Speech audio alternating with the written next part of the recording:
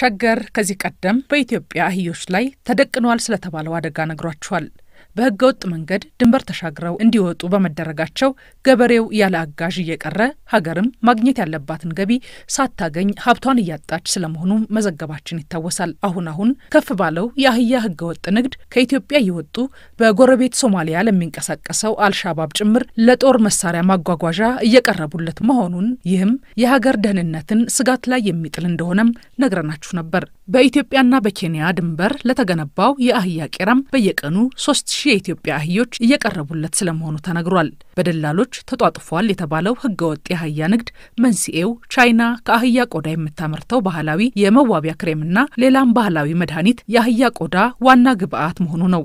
ኢትዮጵያን ዋጋ እያስከፈላት ነው በተባለው ህገወጥ የአህያ ንግድ እንዴት ይገታ በሚለው ጉዳይ ከፌዴራል ፖሊስ፣ ከጉምሩክ ኮሚሽን ከተለያዩ ከፍተኛ የትምህርት ተቋማትና ከሌሎችም የመንግስት የስራ ኃላፊዎች ጋር በብሩክ ኢትዮጵያ አዘጋጅነት ዛሬ ውይይት ተደርጓል። በጉዳዩ ላይ ትኩረት ሰጥቶ እየሰራ ያለው የእንግሊዝ ድርጅት የኢትዮጵያ ቅርንጫፍ ብሩክ ኢትዮጵያ የሀገር ቤት ተጠሪ የሆኑት አቶ ደስታ አረጋም ከመንግስት የስራ ኃላፊዎች ጋር ተገናኝቶ መምከር ያስፈለገው ጉዳዩ አንገብጋቢና ቶሎ እርምጃ መውሰድ ካልተቻለም የከፋ ውጤት ስለሚያስከትል ነው።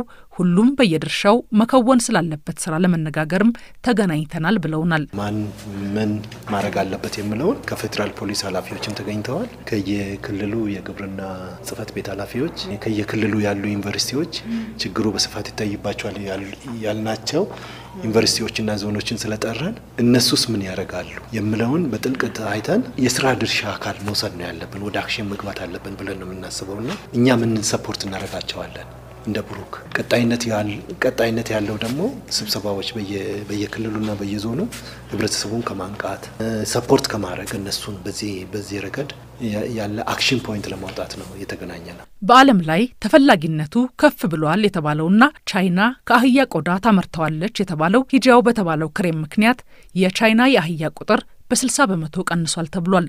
አሁን ደግሞ ለኢትዮጵያና ለሌሎችም የአፍሪካ ሀገራት የአህያ ቁጥር መመናመን ምክንያት እየሆነ ነው ይላል ብሩክ ኢትዮጵያ።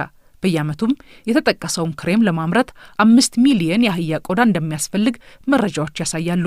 ይህ ፍላጎትም በሚቀጥሉት አምስት ዓመታት ብቻ የዓለማችን የአህያ ቁጥርን በግማሽ እንዲቀንስ የሚያስገድድ መሆኑን ሰምተናል። ከኢትዮጵያ በከፍተኛ ቁጥር በህገወጥ መንገድ እየወጡ ያሉ አህዮች ጉዳይም እንዴት እልባት ያገኝ በሚለው በዛሬው ውይይት ላይ ከተሳተፉትና ዋይሲዲኤፍ ከተሰኘው መንግስታዊ ካልሆነው ድርጅት የተገኙት ፕሮፌሰር ግርማ ምትኩም አሁን እየታየ ካለው ፍላጎት አንጻር የኢትዮጵያ አህዮች ሙሉ በሙሉ ዝርያቸው ለመጥፋት ከአራት ዓመት የዘለለ ጊዜ የሚወስድ አይሆንም ብለውናል። ኢንዱስትሪዎቹ በጣም profitable ሆኑ።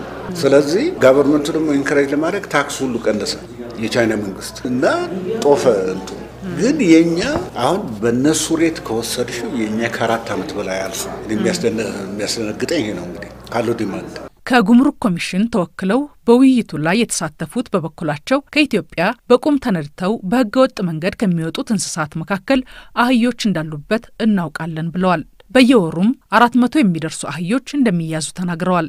በሪፖርት ደረጃ ህገወጥ የቁም እንስሳት ከሚወጡ ከሀገራችን ከሚወጡ አንዱ አህዮች መሆኑን ያውቃል። ከሶስት መቶ እና ከአራት መቶ በላይ አህዮችን አይዝም ጉምሩክ ኮሚሽን። ህገወጥ የአህያ ንግድን ለመግታትም የመውጫ በሮቹ ተለይተው እንዲሰጧቸውና ለቁጥጥርም ምክረ ሀሳብ ከብሩክ ኢትዮጵያ ወስደው በጉዳዩ ላይ ለመስራት የጉምሩክ ኮሚሽን ዝግጁ ስለመሆኑም ተናግረዋል። በዛሬው ውይይት ላይ ከአህያ ቆዳ ይሰራል ለተባለው ባህላዊ ክሬምና መድኃኒት የኢትዮጵያ አህዮች እየተፈለጉ ነው ከተባለ በህገወጥ መንገድ እየወጡ ሀገሪቱም ገቢ ከምታጣ ለምን ህጋዊ እርባታ ተጀምሮ ኢትዮጵያስ ተጠቃሚ አትሆንም የሚል ሀሳብም ተነስቶ ነበር። ወደፊት ግን ይህን ሴክተር እንድናለማ ትልቅ opportunity ነው። ለምን አህያን አርብተን በበቂ ሁኔታ ካለን ኤክስፖርት ብናደርግ ትልቅ ለሀገሪቷ የውጭ ምንዛሪ ምንጭ ነው የሚሆነው እና አገር ውስጥ አይታረድ እንጂ ኤክስፖርት አድርገን ከዛ ገቢ ብናገኝ ምንድን ነው ችግሩ? እንደ አውሮፓውያን አቆጣጠር ከ2010 በፊት ቻይና ከዓለማችን በአህያ ሀብት ከፍተኛ ቁጥር ካላቸው ሀገራት ቀዳሚ ነበረች የሚሉት ፕሮፌሰር ግርማ በበኩላቸው ይህንን ቻይና ሞክረው ነበር፣ ነገር ግን አዋጭ አይደለም ብለዋል።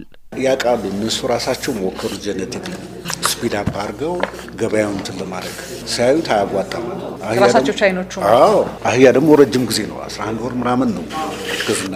easily reproduce አይሆንም። አሳማ ቢሆን ስድስት ትወልድልሻለች እንስሆን ባህላችን የያዘ ግን አህያ በጣም ስለው፣ በዚህ ላይ ደግሞ abortion rate ኦ high ነው በተፈጥሮ ስለዚህ ቁጥራቸው ውስን። ይህን ተስፋ ቆረጡና concentrate አደረጉ። የአህያ የእርግዝና ጊዜ መርዘም በተፈጥሮም ውርጃ የሚደጋግማት መሆኑ ከአንድ በላይም የማትወልድ በመሆኗ በፍጥነት አራብቶ ለገበያ ለማቅረብ እንደማይቻል ፕሮፌሰር ግርማ ተናግረዋል።